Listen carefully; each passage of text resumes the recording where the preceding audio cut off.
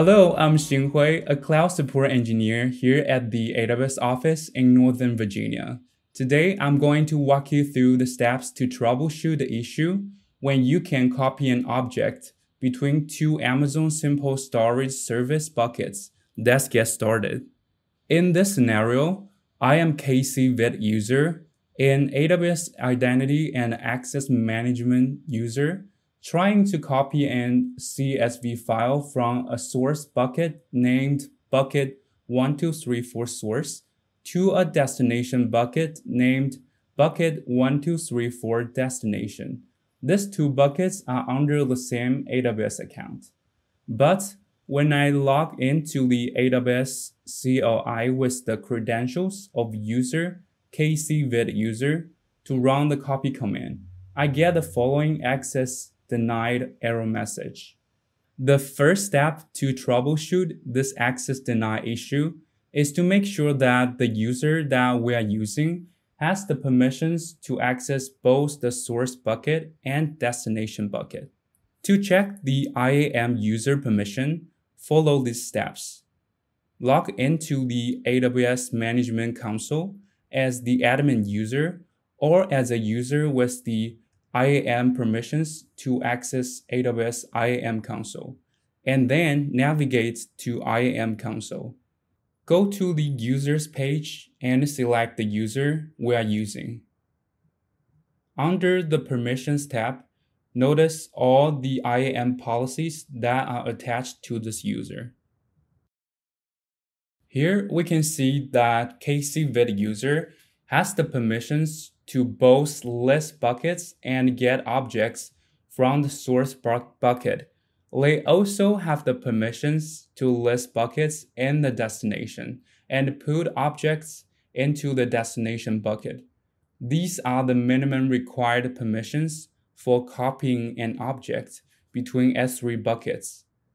The IAM permission for the KCVIT user should not be an issue here. Additionally, we must check the bucket policy for these two S3 buckets. Here are the steps to check the bucket policy. Log into the AWS Management Console and then navigate to S3 Console. Select the bucket that we want to check. Go to the Permissions tab. View the bucket policy that appears we can see that there's no deny statement that applies to KCVIT user.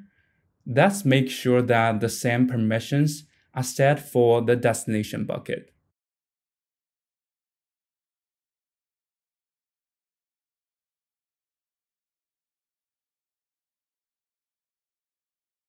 Notice that there's no deny statement here either. We can confirm that there is no deny statement in the bucket policy for either S3 bucket. That's preventing KCVIT user from accessing the bucket. The user KCVIT user should have the permissions to get the object from the source bucket and put it into the destination bucket. So now let's take a look at the permission of the CSV file. Because S3 allows other AWS accounts to put objects and manage access using access control lists, ACLs. We must check the ownership of the object and confirm that this object allows the user KCVIT user to access it.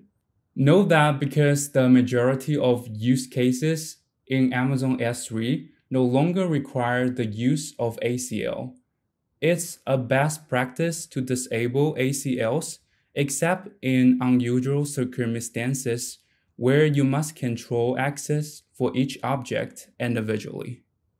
To check the object permission, follow these steps.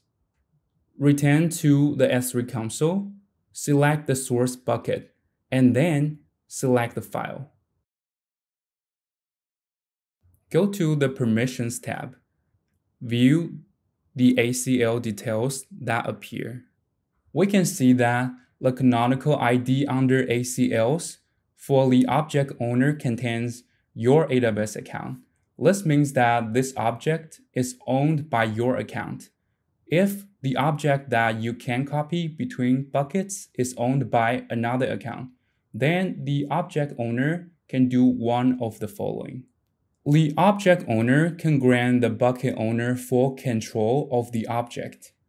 This grants the bucket owner permissions to access the object, and the bucket owner can then delegate list permissions to principals within the bucket owner's account. The object owner can keep ownership of the object, but they must change the ACL to the settings that you need for your use case. If an AWS account other than the bucket owner or object owner requires access to the object, then the object owner must grant those permissions through an ACL. The bucket owner can disable ACLs on a bucket. This makes the bucket owner the object owner for all objects in the bucket. They can then grant permissions to other AWS accounts through the bucket policy. Before disabling ACLs on your bucket, be sure that you understand how the ACLs are being used currently. Also, be sure that you have granted the appropriate permissions through the bucket policy to make sure that current access is not disrupted. In our case here, the object ownership won't cause an issue. Is there anything else to consider? Know that both of the S3 buckets have AWS Key Management Service encryption enabled. This means that all the objects in the bucket will be encrypted automatically with specified AWS KMS keys. So we must make sure that KCVIT user is allowed to use the AWS KMS keys used by both S3 buckets. To check the KMS key policy, follow the steps. Return to the S3 console, select the bucket.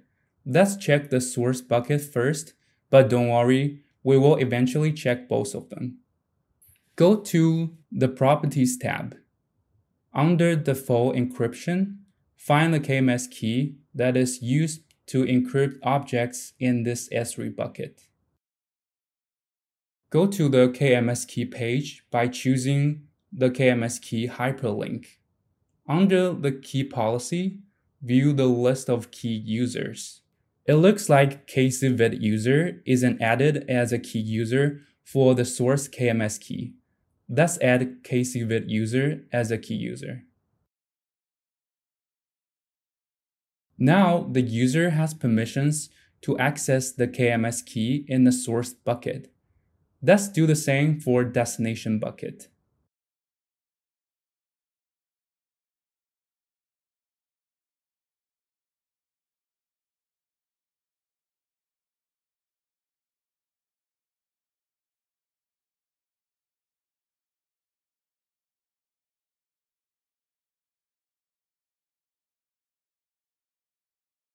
And again, we can see that KCVIT user is a key user for the destination KMS key.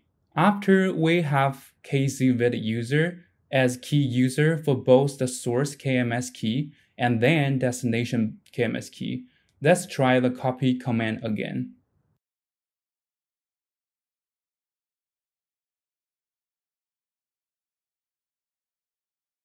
Note that in addition to checking the IAM user permission, the bucket policy, the object ownership, and the KMS key permission.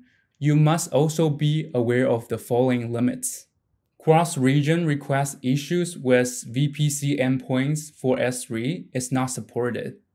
If the source object is archived in Amazon S3 Glacier Flexible Retrieval or Amazon S3 Glacier Deep Archive, you must first restore a temporary copy before you can copy the object to another bucket.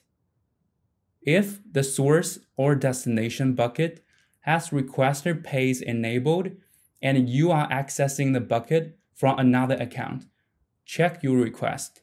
Make sure that your request includes the X Amazon request payer header with the correct value.